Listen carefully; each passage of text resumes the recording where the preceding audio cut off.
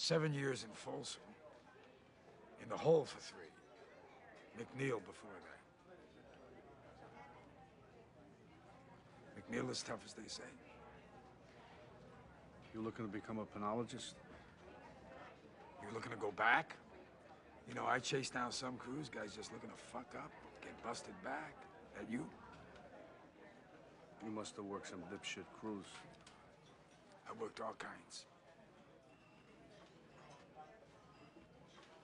You see me doing thrill seeker liquor store holdups with a born to lose tattoo on my chest? No, I do not. Right. I am never going back. Then don't take down scores. I do what I do best.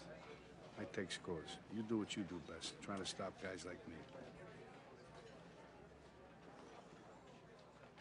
So you never wanted a regular type life?